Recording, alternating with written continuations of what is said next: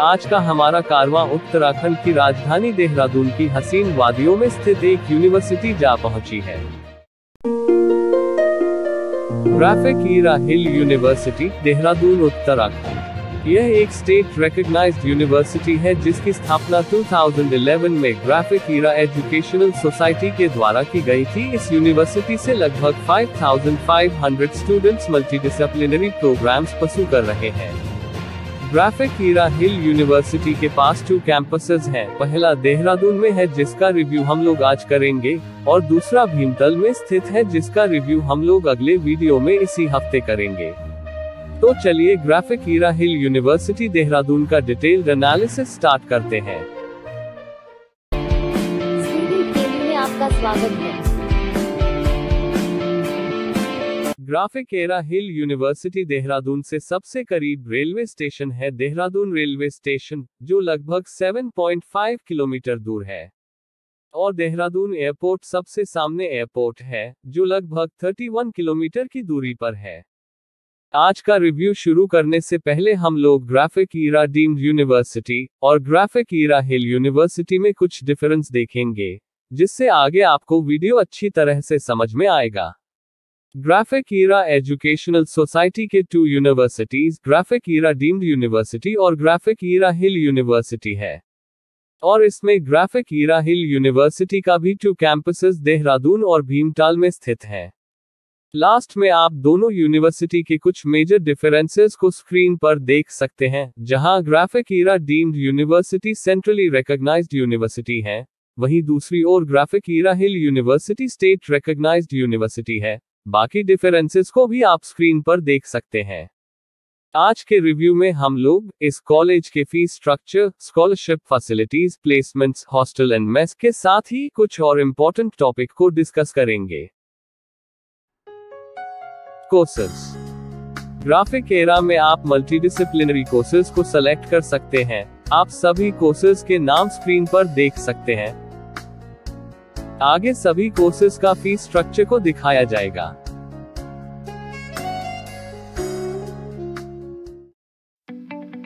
Facilities इस university के पास एक बड़ा सा कैफेटेरिया है जहाँ पर बहुत तरह की फ़ूड आइटम्स उपलब्ध हैं। एक बड़ा सा ऑडिटोरियम जिसकी तस्वीरें अभी स्क्रीन पर देख सकते हैं।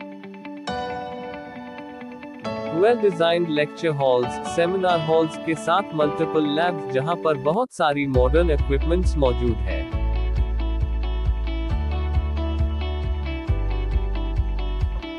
इस यूनिवर्सिटी के मेन बिल्डिंग को एमपी थिएटर की तरह बनाया गया है, जहाँ पर बड़े बड़े कार्यक्रमों को आयोजित कराए जाते हैं।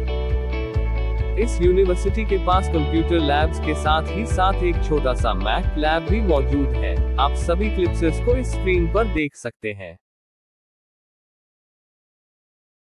अब प्लेसमेंट रिपोर्ट की बारी। यूनिवर्सिटी के ऑफिशियल वेबसाइट में दोनों यूनिवर्सिटी के तीनों कैंपसेस का रिपोर्ट मिलाकर दिया हुआ है, जिसमें ग्राफिक ईरा हिल यूनिवर्सिटी के दोनों कैंपस देहरादून और भीमतल और Graphic Era deemed university Dehradun शामिल है। रिपोर्ट्स के मुताबिक सेशन 2020-21 में सभी स्ट्रीम्स में 2400 स्टूडेंट्स 200 कंपनियों में अब तक प्लेस्ड हो चुके हैं with an average package of 5.38 lakhs per annum, and highest package is 43.95 lakhs per annum. Screen पर आप साल 2021, 2020 और 2019 के कुछ स्टूडेंट्स के डिसेंट पैकेजेस को देख सकते हैं कुछ टॉप रिक्रूटर्स की लिस्ट आप स्क्रीन पर देख सकते हैं जो ग्राफिक एरा के कैंपस को विज़िट करते आए हैं। Graphest Graphic Era Hill University का एनुअल फेस्ट है, जिसका रंगारंग आयोजन ग्राफिक एरा डीम्ड यूनिवर्सिटी के कैंपस में कराया जाता है।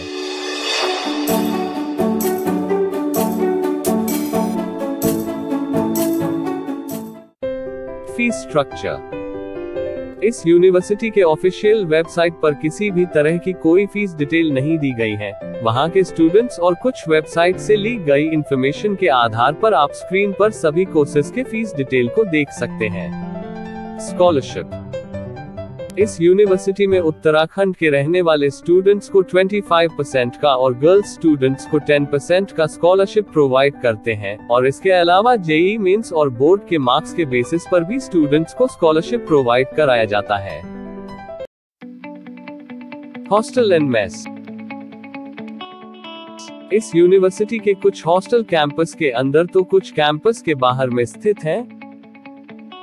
आप सभी हॉस्टल की लिस्ट स्क्रीन पर देख सकते हैं। इनमें ग्राफिक ईरा डीम्ड यूनिवर्सिटी के भी हॉस्टल शामिल हैं। हॉस्टल फ़ीस में मेस चार्जेस भी इंक्लूड है।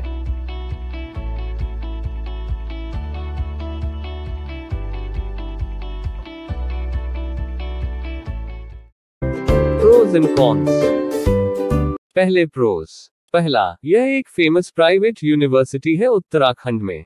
दूसरा, इस कॉलेज का फेस्ट बहुत शानदार होता है, इसमें बड़े बड़े सेलिब्रिटी शामिल होते हैं।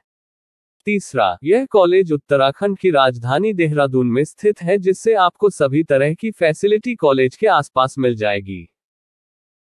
अब कॉन्स। पहला, यह यूनिवर्सिटी स्पोर्ट्स में थोड़ा सा पीछे है। दूसरा, प्लेसमेंट्स कुछ खास नहीं है। तीसरा, इस कॉलेज में ड्रेस कोड है, जो आजकल थोड़ा सा ठीक नहीं है। तो आज के लिए इतना ही। ऐसे ही कॉलेज रिव्यू को देखने के लिए हमारे चैनल को सब्सक्राइब कर लीजिए।